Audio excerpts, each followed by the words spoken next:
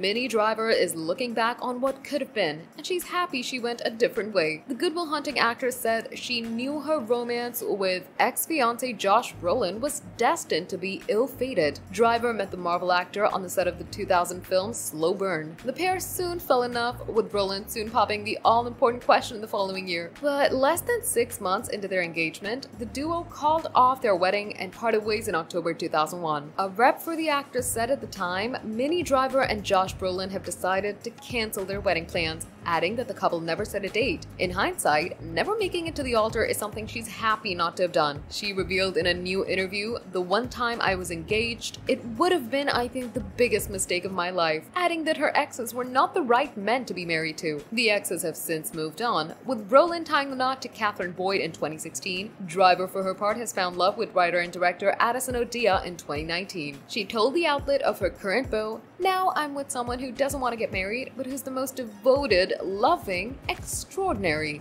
everything I could have wanted in my childhood idea of a husband. He actually is. Elsewhere in the interview, Driver said her parents never married due to her dad's infidelities, which in turn affected her own romantic relationships.